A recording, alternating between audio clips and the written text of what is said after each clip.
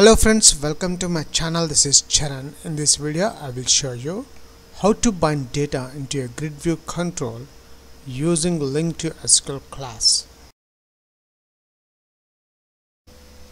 And here we got the final output. Notice the employee table is binded into the grid view control using LINQ to SQL class.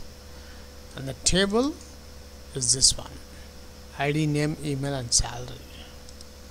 ID, name, email, and salary. If you are a first time visitor to my channel, please subscribe to get the latest updates.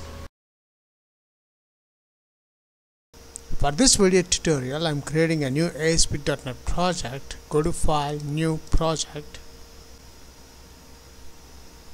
And from the web templates, I'm selecting ASP.NET Web Application and the .NET Framework I'm using 4.6.1. The application name is grid view bind LINQ to SQL click OK. I'm selecting empty templates. Click OK. And here the project is successfully created. Let's open solution explorer. Now in this project I'm adding a new web form page. Right click the project name. Add new item I'm selecting web form. The web form page name is grid view LINQ to SQL add.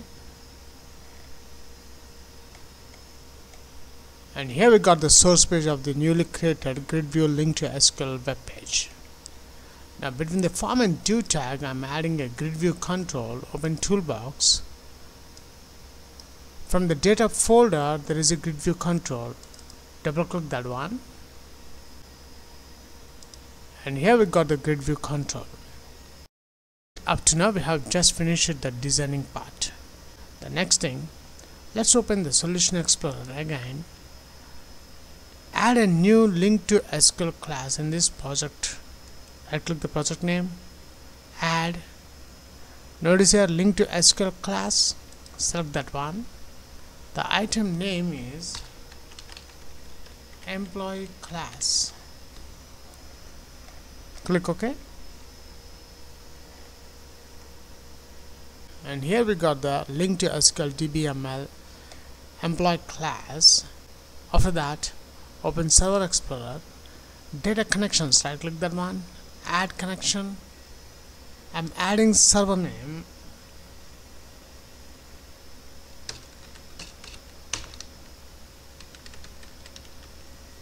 after adding SQL server name I'm selecting the database name. Sample DB is my user select sample DB test connection. Is succeeded okay okay. And here we got the sample db.dbo under data connections. Expand the sample db.dbo and notice we got the sample db.dbo objects tables views stored procedures etc I'm expanding the tables. For this demo purpose I'm using the employee table. Just drag and drop the employee table on the LINQ to SQL class. Let's visit the SQL server database. We'll check the table and the column names. This is the employee table which contains four columns ID name email and salary. I want to bind this table employee a grid view control using LINQ to SQL. After this, switch to the source page, right click, go to view code. Now in the view code, in the page load event, I'm adding my employee class LINQ to SQL employee class data connection emp dc data context is equals to new emp employee class data con data context.